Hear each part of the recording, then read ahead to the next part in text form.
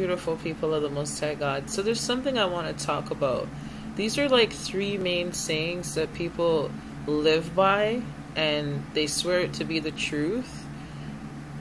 But these sayings are actually foolish. Alright? Proverbs 15 and 2. The tongue of the wise uses knowledge aright, but the mouth of fools pours out foolishness. So these sayings are foolishness, and I'm going to prove it to you in scriptures. Number one, keep your friends close and your enemies closer. I'm going to break that down. Number two, strengthen numbers. Number three, hurt people hurt people. And I'm going to show you that all of it is actually not truth at all. It's foolishness. And I'm going to prove it. Alright, keep your friends close and your enemies closer. Did not Christ say, Depart from me, you workers of iniquity? Was Christ among his enemies and people who didn't like him? He stayed away from them. He had a frenemy in the group, which was Judas, but he had 12 disciples. He wasn't friends with everybody, and he wasn't making friends with his enemy. He wasn't making friends with Satan. You you people think that this is wise to keep your friends close and your enemies closer. You should keep your friends close and your enemies far from you. You know, a prophet is not welcome in his own home, and you should be being far from your enemies. All right? Depart from me, you workers of iniquity. What fellowship does light have with darkness? If you hate somebody, you should have no fellowship with them. That's why hypocrites are going in the lake of fire. Strength. A prophet is not welcome in his own home. And it tells you if they persecute you in one city, flee to the next city. So you shouldn't be friends with your enemies. They're, re- they're called an enemy for a reason. A friend is a friend and an enemy is an enemy. Know the difference.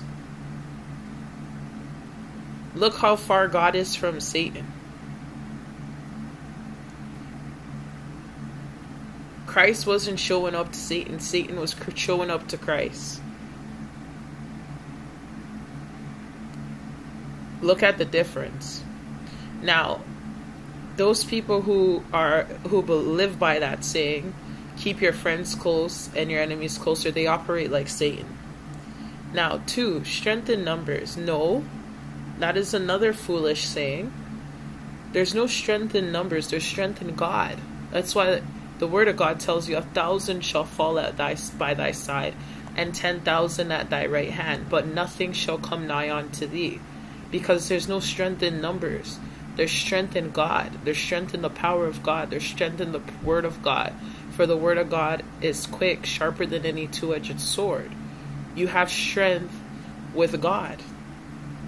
Now, this one is so big that people swear by. Hurt people hurt people. What? No. It, hurt people don't hurt people. Unhealed people and broken people hurt people because you can be hurt by somebody and you're not going to revenge them. You heal yourself and you move forward. You need to heal from your hurt. God heals you, and Christ came to save you and heal you from hurt, death, pains, and sickness. Now, let's furthermore prove this. When you're unhealed, that is when you hurt people. It's not hurt people hurt people, unhealed people do. I, I what did Christ come to do? He came to heal you. What does God say he'll do? He'll heal you. Hosea 14 and 4. I will heal their backslided. I will love them freely, for my anger is turned away from him. Isaiah 57 and 18. I have seen his ways, and I will heal him. I will lead him also and restore comforts unto him and to his mourners. So when you need comforting and when you need mourning, when you're mourning, you need to be healed from that. You're not supposed to stay in that hurt. God said he will heal you. And what is in Matthew 8 and 7 it says, And Christ said unto him, I will come and heal him. So it's not hurt people hurt people, it's unhealed people who hurt people. Well, in Isaiah 57 and 19, what does God say? I create the fruit of the lips. Peace, peace to him that is far off. and to him that is near, says the Lord, and I will heal him.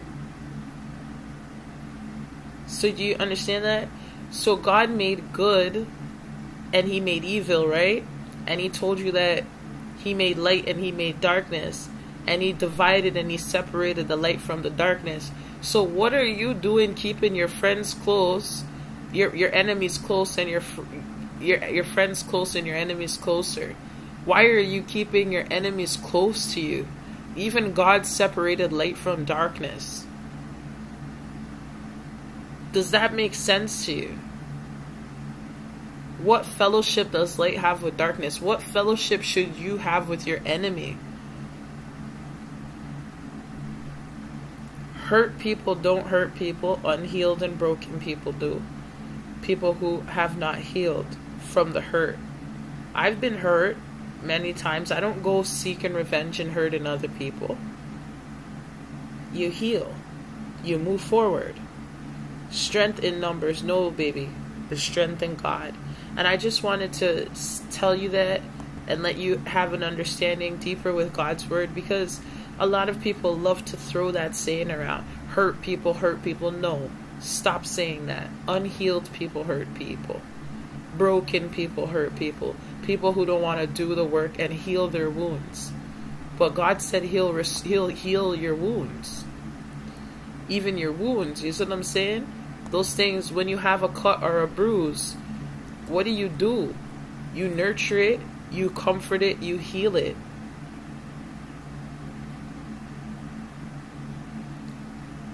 God heals wounds.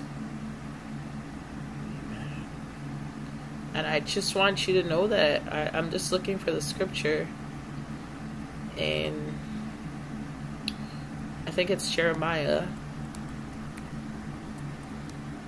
Yeah. There it is. Jeremiah 30 and 17. For I will restore health unto thee, and I will heal thee of thy wounds, says the Lord. So you need to be healed. You need good health.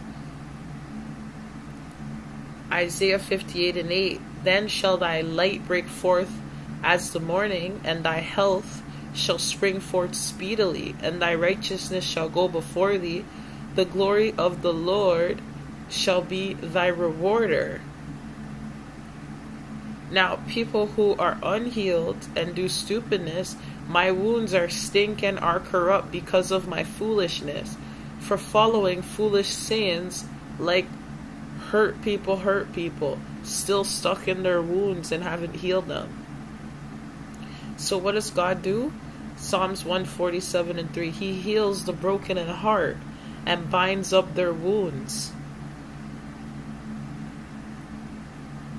Now, Proverbs 13 and 17 a wicked messenger falls into mischief, but a faithful ambassador is health.